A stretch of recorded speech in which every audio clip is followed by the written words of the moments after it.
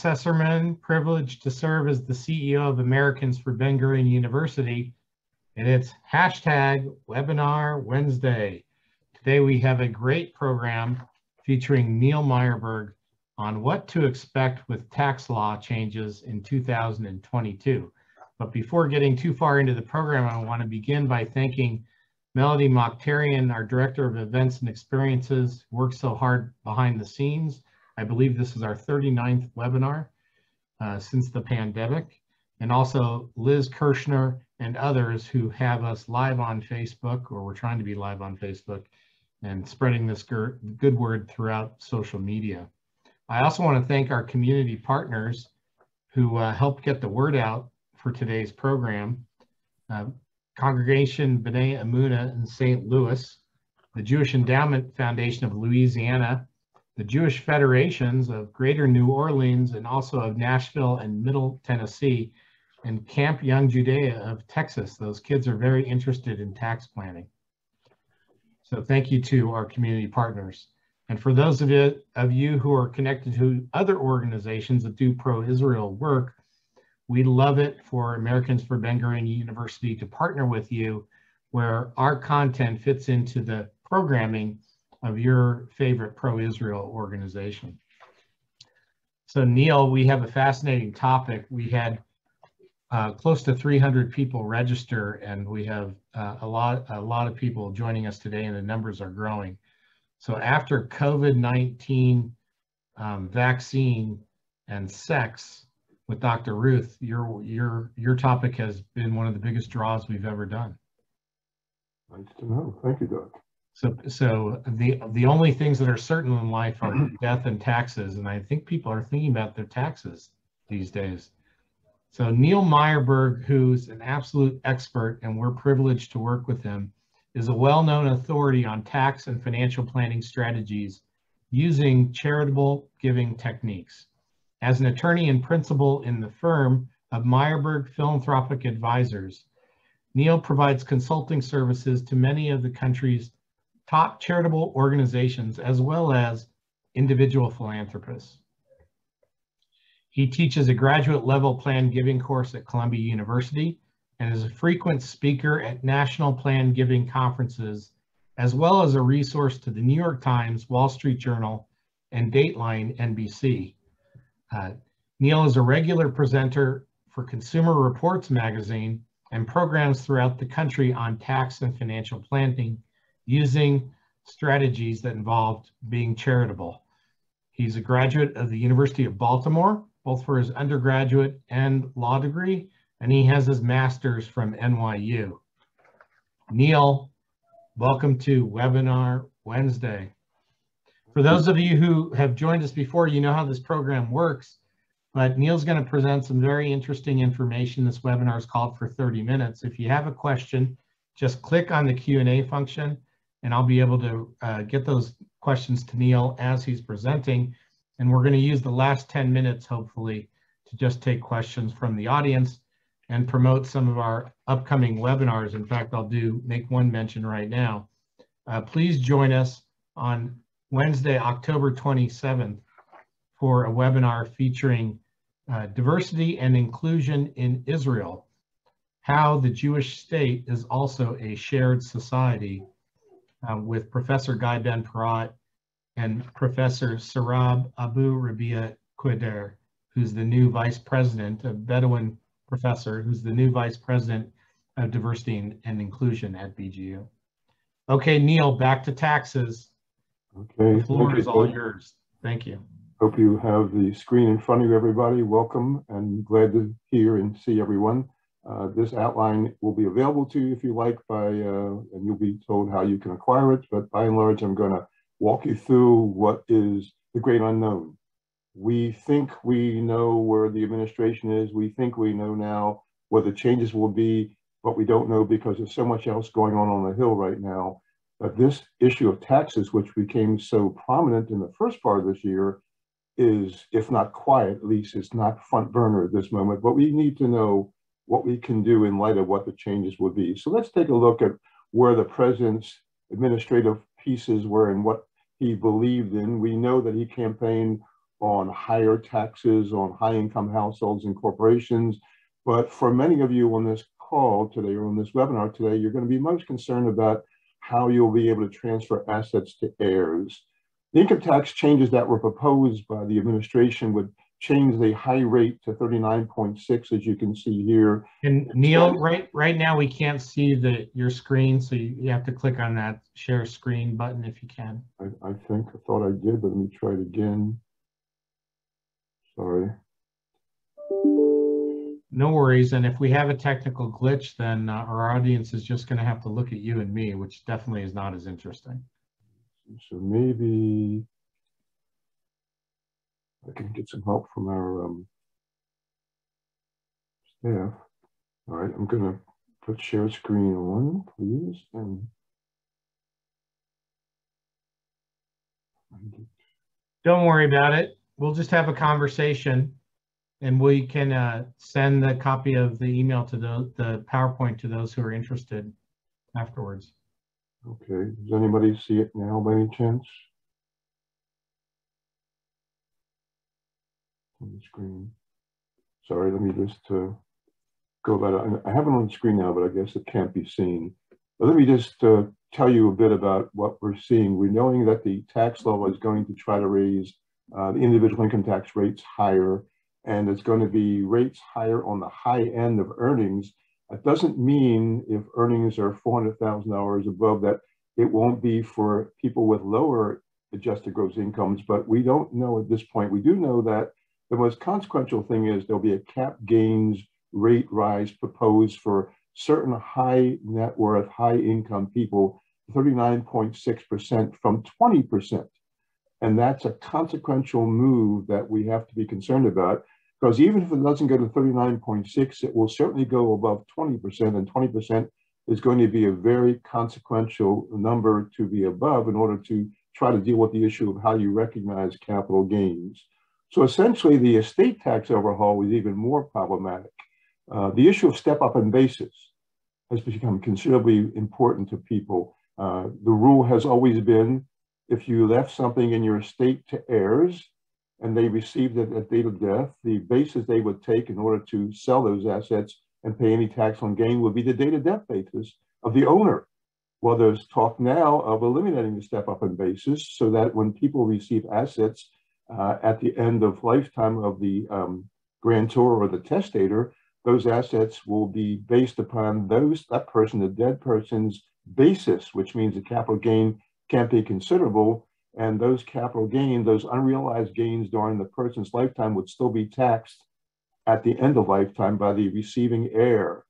The other issue is, which is important, that right now through 2021, there's $11.7 million unified credit exempt amount per individual or 22 4, 23, 2, 2, $11.7 million times two for a couple. And the discussion now is to reduce that to $3.5 million in transfers of death and $1 million in lifetime gifts. So the problem is that not only will the basis be lower, the exempt amount be lower, measure be lower, but they're going to tax anything above that amount at 40% or higher. So you can see that right away there's a considerable difference between what it is and what it might be. Uh, what's in the outline is a table that compares the two. It raises the income tax rate to 39.6 under the Biden plan, and in the House of Representatives, their plan is also at 39.6 for single filers or for head of households above 420 and for joint filers above $450,000 and a new 3% surcharge for certain individuals, which means that there will in fact be an increased individual income tax rate. Where it begins at is not known yet, but the House would begin it at $400,000 for head of households and 425 for individuals and 450 for joint filers. The second thing is the capital gains rate. And this is where the Biden plan and the House plan differs. In the Biden plan, there's a cap gain rate would go up to 39.6 for people over a million dollars in income over the 20% base it is now. Whether it's going to be raised above 20 for those below a million dollars in income is still to be discussed. Whereas the House plan says instead of going to 39.6, we'll go to 25% and have a new surcharge on some income and a net investment income tax under current law will continue at 3.8%, makes the top federal marginal capital gains rate under the House plan could be close to 32%, the highest federal cap gain rate since the 1970s. If you add that rate to the high tax rate of some of our states where capital gains are also taxed, you could take the capital gain average rate to close to 37 or higher percent.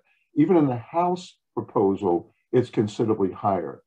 And lastly, if the amount of transfers estate and gift tax free is going to be reduced from 11.7 million in 2021 to 3.5 million dollars in 2022 or thereafter under the Biden plan, or $6 million from 22 onward under the House plan, it's still going to be, in some instances, half of, in some instances, much lower than half of what the exempt amount is right now. And we should all remember that if nothing happened under current law, beginning in 2026 under prior law, the exempt amount is going to be $5.6 million. So in effect, we've got to deal with the what if and the what now. We know that if we wait until 2026, we'd be at $5.6 million anyway. But right now, we'll stay at 11.7, we'll go to 6.0, we'll go to $1 million, we'll go to 3.5, we don't know, which means we have to do some actions now. With regard to a, a uh, estate and gift taxes, the Biden plan eliminates the step up in basis. The House bill says no elimination of the step up in basis. On the Biden plan, Capital gains tax will be assessed on the surviving spouse, for example, upon her sale of the property, and but there'd be no step up. For other heirs, tax will be assessed, no step up. Under the House bill, the tax for the surviving spouse will be based upon a step up. So again, significant differences between the administration and the House representatives. In the Biden bill, there will be some tax assessed on the non-charitable portion of certain types of charitable gifts. In the House plan, there would be no front-end capital gains taxes on contributions of certain properties to certain charitable gifts, including charitable remainder trusts. There'll be valuation rules changed in the House. They're going to try to eliminate in the House bill valuation discounts for certain entities holding non-business assets like LLCs holding nothing but liquid marketable securities. The valuation discount will probably be not allowed if the House bill comes into effect. So you can see there's a difference measurably between the administration and the House. And we don't really know which way it's going to go, but likely there's going to be compromise. And the wild card, of course, will be the Senate, which will have to find its path through here. But right now, it's the administration and it's the House. What kind of planning can you do in light of this? Things to think about now. You might want to harvest some long-term capital gains before the end of this year.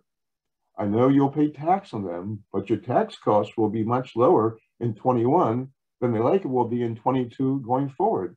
You may also want to use some of your highly appreciated stocks to do some charitable giving. You might put it in a donor advised fund.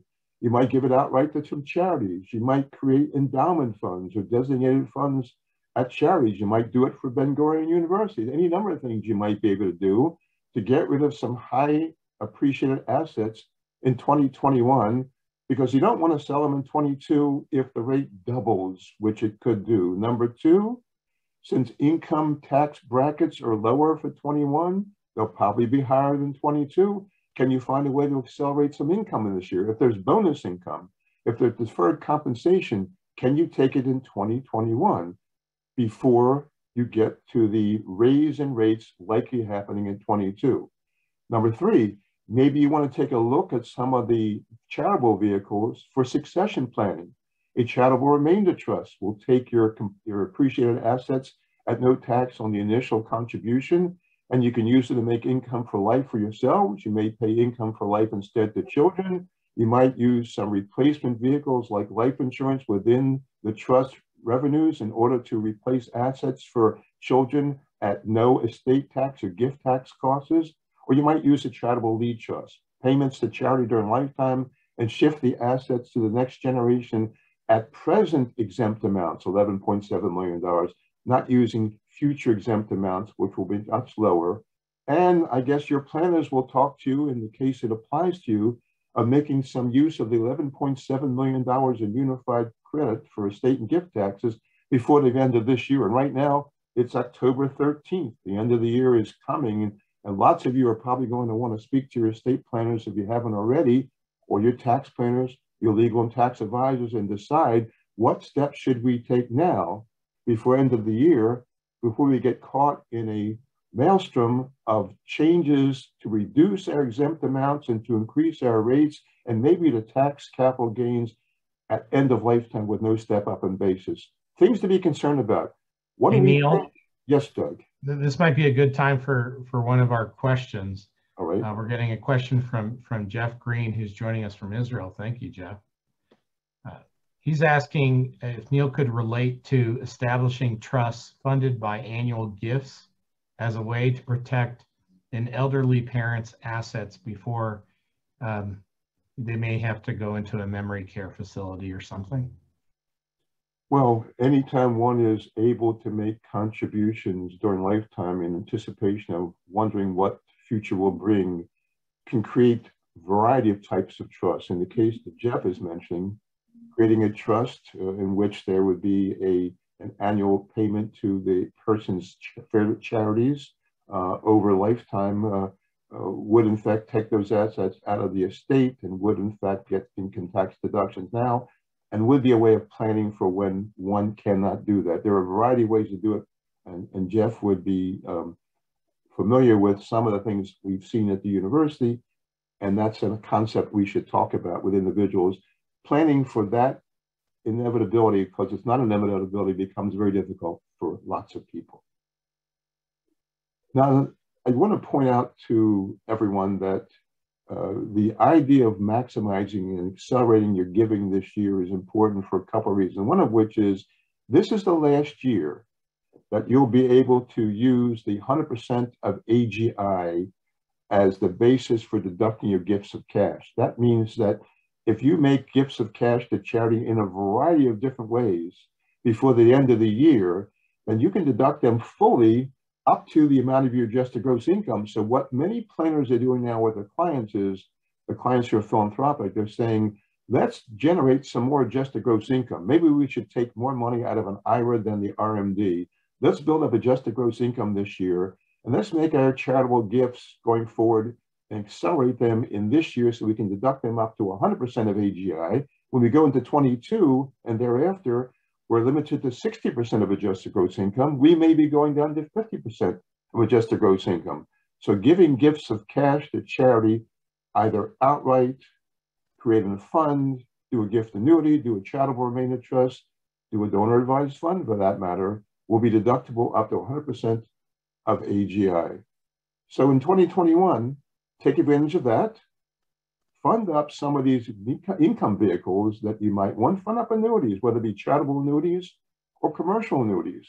Fund up charitable trusts or regular trusts. Get assets out of your estate if possible and use, if you don't take the itemized deductions, use the standard deduction this year for charitable gifts, either by an individual, $300,000, or a couple 600, excuse me, $300, or a couple $600 as an above the line deduction. Take advantage of that. And lastly, for those of us, most of us who did not take RMDs in 2020, but must take them in 2021, take advantage of the IRA charity rollover. Take advantage of qualified charitable distributions and move some of those RMD dollars directly from your administrative partner at the IRA company to charities in order to avoid tax on those distributions. It's back, it's been the law. Most of us didn't do it in 2020. Many of us made our 2020 gifts early in 2021 to take advantage of the rule for IRA charity rollovers and again toward the end of the year. A couple of things. Yeah, we're getting a quick question on that. So the RMD is the re- required minimum distribution from the IRA, correct? Correct. And so we're getting a question of if somebody wants to uh, use that as a charitable gift, how do, how do they do that? You make contact and, and, and people at A4BGU can help you with this. Make contact directly with your IRA administrator by letter and you say, please directly distribute to the following charities in the following amounts funds from my IRA and be certain you do it before the close of 2021 and they will send the funds directly to the charities on your list It doesn't get into your hands, which would be that you'd have to recognize income. You recognize no income. When you report the end of the year, RMD, say you have $100,000 and the charity has gotten $50,000, you're only going to have to report for tax purposes 50,000 of the 100. The other 50 that went to charity will be free of tax. It's merely an administrative step. Tell the IRA administrator what you want to do. We can help you with that, by the way, and avoid tax on that part of your RMD. And that also, if you have an inherited RMD, can you do the same thing? Same thing. If you're inherited the RM, the IRA and you have to take RMDs, you can use those RMDs again as charitable gifts in order to avoid tax on that RMD. The, minute, the maximum amount of RMD you can avoid tax on to charity is $100,000. Anything from that number down, you can avoid tax on. Many people don't take RMDs that large, but many of you are philanthropic. And if you're 72, for example, now you might want to make your charitable gifts this year from your RMD using the IRA charity rollover. And again, people at A4BGU can give you a sample, a sample letter document that you'll send to your IRA administrator to get this done. Let me just talk about a couple more things, and one of which is very important in your planning this year. Considering the changes in tax laws, considering that rates may go up, we have this issue of the elimination of the stretch IRA. Many of you in your planning over the years, I'm sure made a decision between spouses that if spouse is going to receive from dying spouse an IRA outright, that's going to be the normal rollover. spousal taxes over life expectancy. But if the IRA is going to go to children, for example, the rule of long-term distributions based upon life expectancy for most beneficiaries is now limited to 10 years, which means that those children who may be in their 40s, for example, will have to take all of this out of the IRA within 10 years and pay income taxes at an accelerated amount at higher rates. There's a lot of challenges now to deal with this. And the challenges are how do you get the children to receive these distributions longer than 10 years and still have them secure in the receipt of assets like this at lower tax cost if possible. The simple answer that's been done even before now, but is now being accelerated in planners' thinking is to use a charitable remainder trust that receives assets from the IRA at the end of the owner's lifetime. The trust is tax exempt. It receives assets uh, with charitable deduction components. It receives them at no income tax component from the dying owner of the IRA. The trust runs for life or lives, can be for multiple lives. So it could be for multiple children at a fixed rate so they can receive payments throughout their lifetime as opposed to only for 10 years. They'll pay tax only in the amount they receive, and some of the receipt is tax preferred. At the end of the lifetimes of all these beneficiaries, whatever remains in the trust will be passed on to the charity or charities you name in the instrument. That way, You've avoided the problem of heirs receiving the full asset value of the IRA while they're in a position that you'd rather they not be in. That is, you don't want them to receive it in that time of life. You wanted it to go on longer for them. That was the purpose of it. But you're able to do that without having to fall in counter to the 10-year distribution rules which now exist. It's called the removal or the elimination of the 10-year rule, the stretch IRA. The solution is for many planners using a charitable remainder trust. It's something you need to have calculated. You should confer with your planner. You can confer with us. We can show you how it works. It's just something to be considered because planning now, particularly planning for adult children who might be disabled, is really becoming a challenge. So I encourage you to think through this concept. It's very important. So Neal, if I understand this correctly, because this, this is really important actually, the charitable remainder, remainder trust is an excellent vehicle for people to provide income to their beneficiaries while also doing some charitable planning uh, with, the, with the bulk of their assets. Is that correct? Absolutely. And I'll add another piece to that, Doug. You, you said that completely right. You're going to take care of the children, all of them, or the ones you want to, provide income for life. You're going to provide for charity in the future. And some planners may also add the following if some of the resources coming out of the trust can be used to purchase insurance for the benefit of the children, that end of lifetime period when the trust is over, when assets go to charity, the life insurance vehicle will also mature and the death benefit can go to the children or to a trust for the children. So what you're doing is you're giving it away in the charitable remainder trust, but income for life for the children. It's going to charity at the end, and the asset value can be replaced all or a portion by this life insurance policy that will be free of gift and estate taxes. Doug, it's a phenomenal concept, needs to be explored. People oftentimes will look at it and look at all the options and look at the revenues and look at whether or not philanthropy and wealth replacement and protecting their children is a good plan in their estates. Thank you. I personally get very confused in this area because I'm not a, not at all a tax expert. Um, so it's great that we have you available to to people. If people do have questions, and we'll put this uh, email up at the end also. You just write to planned giving at Americans for BGU spelled out dot org. Planned giving at Americans for BGU and we'll get your questions directly to Neal and, and get them answered. Yes, and as I mentioned earlier, Doug, because we don't have the outline on the screen, I'm welcome anybody who wants to have the outline to simply let us know when we certainly send it out to them so we'll see in visuals what we've been talking about um, verbally. A couple more. We're getting a question, Neal, from an anonymous attendee, and um, she says that I'm 72 year old widow uh, who has my primary residence poured into a living trust, should I transfer home ownership to my two grown daughters? Uh, so not to be considered in potential future Medicare or Medicaid calculations?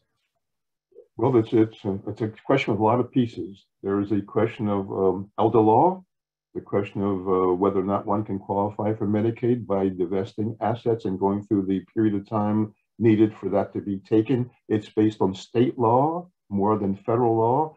So the question has lots of loose and moving parts, Doug. So I would suggest that uh, someone who specializes in elder law be conferred with by this individual to see whether that plan can work. That plan will eventually take the assets out of that estate and go to the children.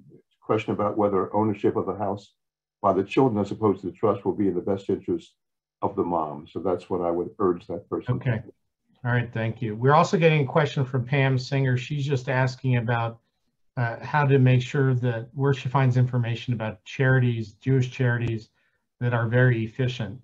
Um, so one, I'll just answer this, and then Neal, you can you can uh, add to it if you'd like.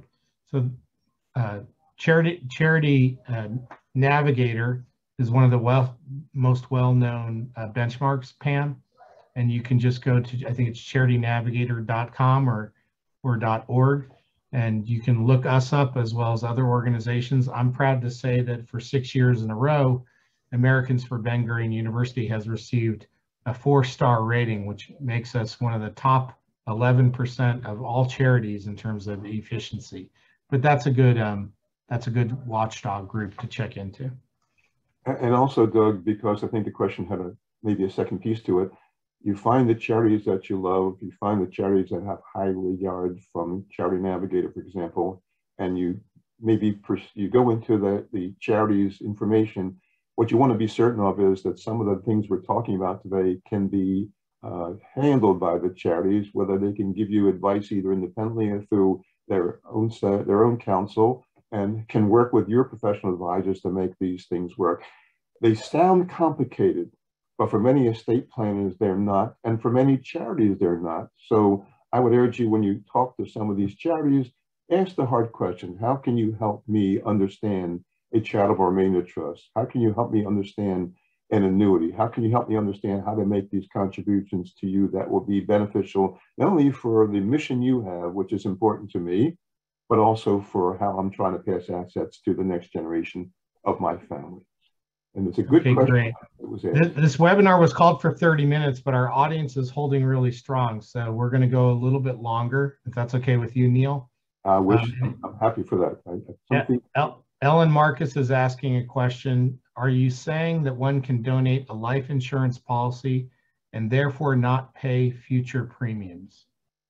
Well, that's interesting, Ellen. If the policy requires premiums still, it's not you know, for example, when you donate that policy to charity, you'll get a deduction for some portion of the value of that policy. That's how the mathematics work, but the, there's still premium to pay. So what people generally do is they'll contribute the policy now owned by the charity, but they'll make an annual contribution in addition to what they normally give, the amount of the premium that the charity can use to make the payments, and that will be deductible. Uh, if the charity correct, so the premium, Ellen, would be deductible, but still needs to be paid. If the individual who donates the life insurance policy doesn't pay the premium, then the charity would need to to keep the uh, life insurance policy active. Right. And so uh, some people contribute paid up policies. Pretty easy to understand that. Some people will just make the charity the beneficiary of their current policy or one of the beneficiaries and continue to own the policy. And some, under Ellen's question, would, would transfer the policy to the charity. And since there's premiums due, we'll continue to make the premium payments either directly to the insurance company or by an extra gift to the charity. So those premiums would be deductible as charitable contributions. We're also, Neal, getting a question from Lana Sternberg. Thank you for joining us. Uh, she's asking if the generation skipping trust is still in, in existence. Well, it is, but we don't know, and it's it's one of the obscure pieces that we're trying to watch with the administration and the House. Uh, the terms of what they're thinking about doing, they may be impacted, they may be unavailable going forward. And so again, if this is something very important in your planning, I would go to your tax advisors now and say, what can we do in case this is changed to secure what we've been trying to accomplish with this generation skipping transfer tax trust? Uh, I can't give you any encouragement because I don't know there's going to be a lot of horse trading in the Congress, in the administration to get this bill or some portion of this bill passed. They wanted to have this bill passed this year and make it retroactive back to the spring of this year. Hopefully that's not going to happen. And if they pass it in 22, I don't think, we don't think they're going to make it retroactive to transactions in 21. That's why I urge all of you listening today to take some active steps, even if they're not philanthropic steps, if they're just good, substantial planning steps for the financial well-being of your family and the estates that your family wishes to make certain they're secured, I think you should do it. I think this is a year particularly since RMD is now being taken and particularly since we don't know what the changes are going to be. Which brings me to a, a final point or two. Um, interest rates. We now have information that suggests that they're going to rise in 22. Fed has suggested that they're going to stop asset purchases to support the economy, which they're going to stop buying bonds. They're going to stop buying things that uh, kept things under bay. They're going to let inflation go where it may go, thinking it won't go too badly. Uh, there's going to be a formal announcement of this in November. It's going to be something all of us are going to watch it. It's going to have tremendous impact on the stock market.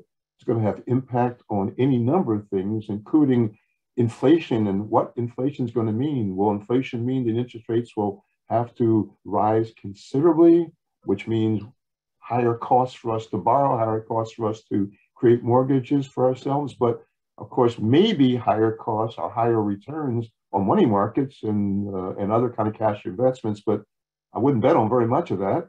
IRS discount rate is very low right now, 1%. It's based upon midterm treasuries. That may go up. It impacts annuity rates, the discount rate for people under the age of 70.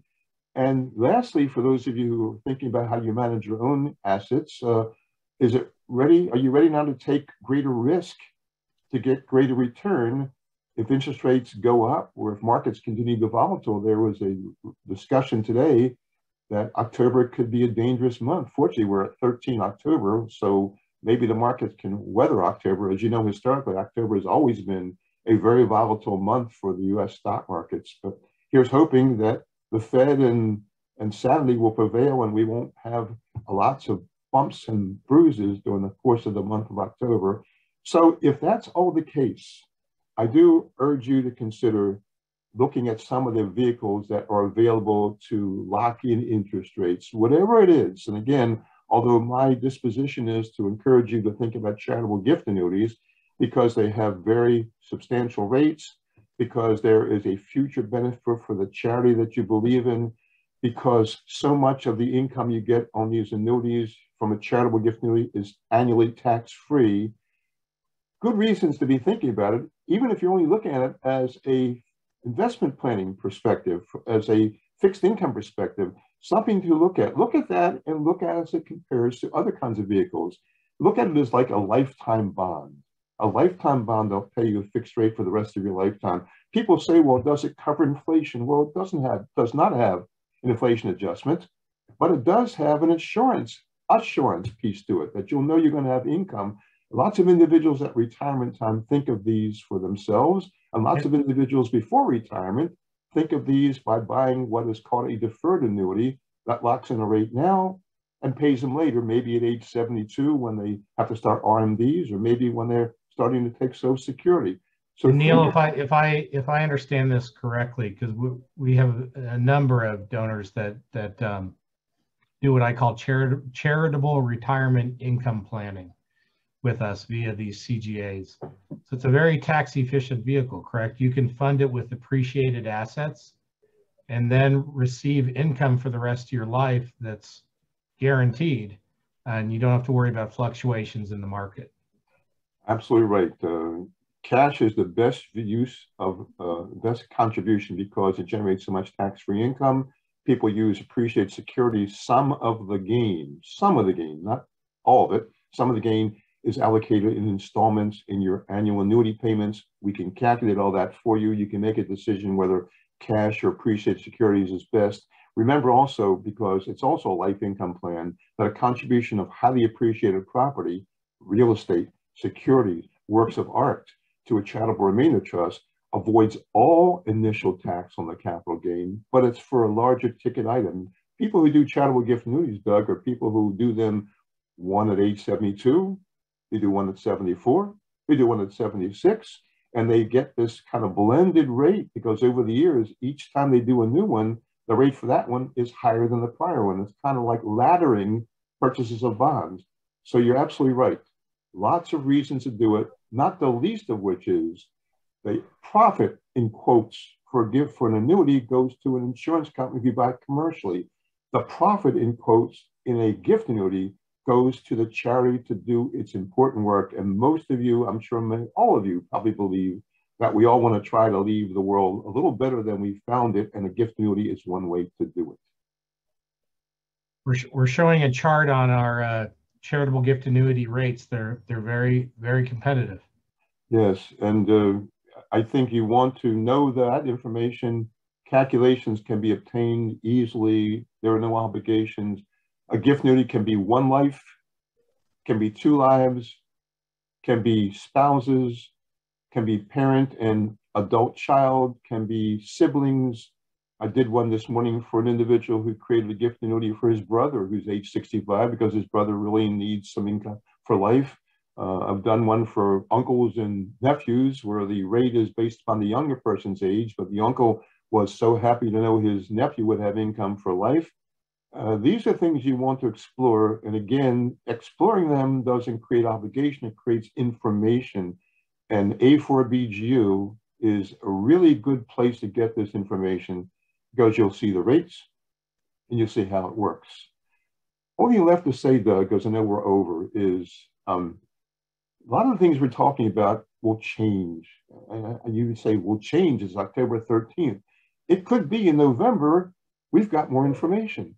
It could be by November 15th, after the Fed decides what to do about interest rates and the Fed decides what to do about asset repurchase, it could be that we'll have a pretty defined picture of where the tax laws are going to be in 22. So even though we might not do another webinar between now and then, we're going to be sending out e-blasts and other kinds of information on a regular basis from A4BGU so that you, those of you who are on our list today, and there are many of you, even those of you who didn't attend today who will hear from us, will have information that says, here's what we know today.